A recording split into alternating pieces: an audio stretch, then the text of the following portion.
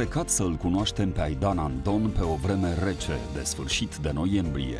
După un drum cerpuitor printre dealuri la 20 de kilometri de Cluj-Napoca, la marginea comunei Ciurila, pe malul unui lac, am zărit prin ceață stâna pe care și-a așezat-o aici Aidan în urmă cu un an. Ia, uite, uite.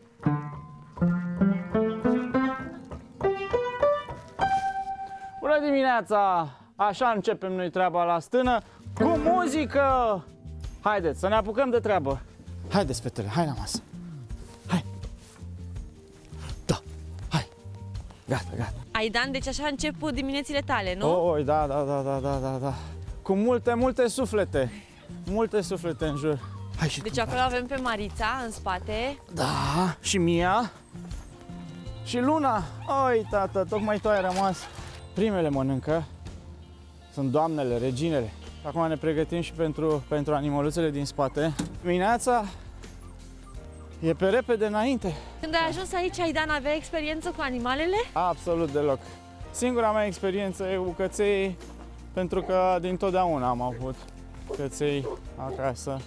Dar aici viața e total altfel, cu atâtea animale. Ca o glumă așa, o lungă perioadă de timp am crezut că avem două, doi mieluți și că încolo erau două fete și ne-am pricopsit și cu mieluți de pe urma lor. Adică pur și simplu nu neapărat că nu știam, dar nici nu ne-am uitat. Ne-a zis cineva, ok, sunt doi mieluți, am luat de bună. Până când au fătat și ne-am trezit cu mai mulți în curte. Cum a fost noaptea asta? Ha? Haide, fata. Tu vii de la oraș, practic. Cât de greu a, cât de grea a fost acomodarea aici până la urmă? Având în vedere că nu știam nimic de, despre traiul de la țară, a fost efectiv a fost imposibil la început, pentru că nu știam ce să fac. Ad literam, am întrebat pe alții, băi, și eu ce fac acum? Oițele, primele 3-4 oițe le-am primit așa, au fost iale, salut și du-te în drumul tău, ești cioban acum. Și am zis, bun, și ce fac cu ele și unde le duc și cum și ce se întâmplă cu ele? Nu știam nimic, nimic. La 40 de ani, Aidan Andon a adunat experiențe cât alții într-o viață. S-a născut la Brăila. După 10 ani de muncă în domeniul financiar și-a lăsat jobul stabil din București și a plecat în Asia. Acolo a hoinărit 6 ani, timp în care a făcut de toate. A fost fotograf și bucătar, barman și instalator. Și s-a bucurat din plin de o viață relaxată, fără griji, petrecută pe plaje exotice.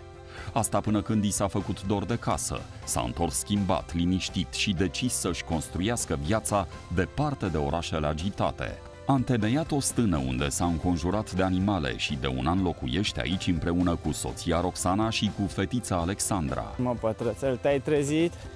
Alexandra, îți place viața la stână? Da. Îți place, nu? este Cu animale? frumoasă. Te dai de mâncare animalelor? Animăluțele de aici, din spate și la cățeluși. Da? Aici este frumos. Gata? Se reușește? Bună dimineața! dimineața, haideți la, haideți la micul dejun, nu? Oh, da. Asta doar dacă am mâncat animalele înainte. Roxana se ocupă de cele ale gurii, de curățenie și de încurajări. În bucătărie însă toată familia pune umăr la umăr ca treaba să meargă ca pe roate.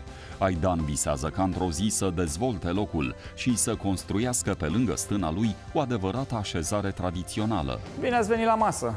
Eu zic să, să mâncăm așa de dimineață, că după aia avem o zi, o zi grea. Mâncăm cumva cam din ce producem noi. Icrele, îs din peștii de aici, din lac, uh, pe șunculița din purcelul nostru. Legumele acum e mai greu să le mai iei și pe astea trebuie cumva să facem ouăle de la găinile noastre. Haideți la masă, poftă bună Mulțumim! și după aceea la treabă, nu? Uh, da, dar întotdeauna începem așa cu, cu ceva tare, că altfel nu facem față.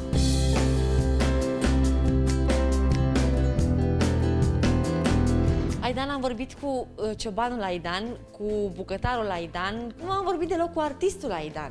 Ai, săracul. Personalitatea asta e în spate, acolo, împinsă. Tot, toți au trecut peste ea, au călcat în picioare. Au... Da. Văd în spate niște tablouri senzaționale pe care uh, tu le-ai făcut. Da, e dintr-o altă viață. Dintr-o viață îndepărtată.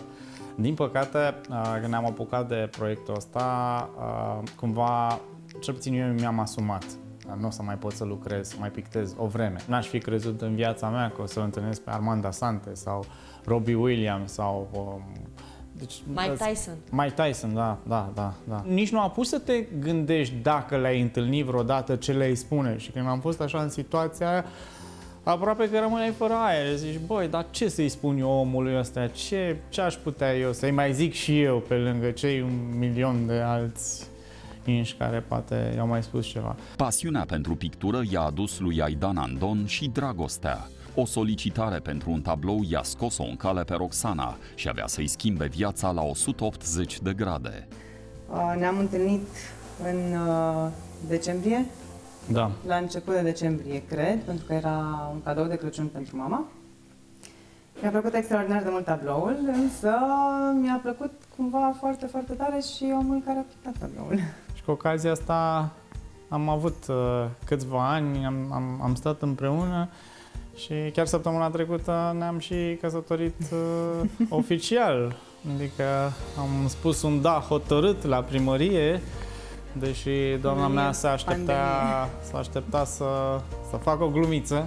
Dar nu, am fost foarte serios și foarte hotărât. Am zis că nu e cazul de, de glume în pandemie. Așa.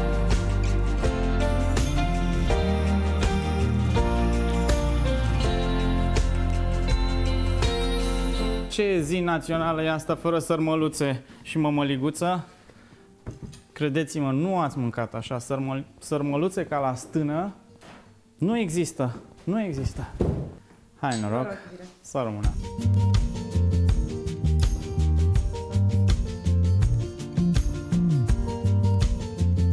Lumea a văzut uh, în mine un om care se reinventează. A, pentru mine a fost pur și simplu asta e viața.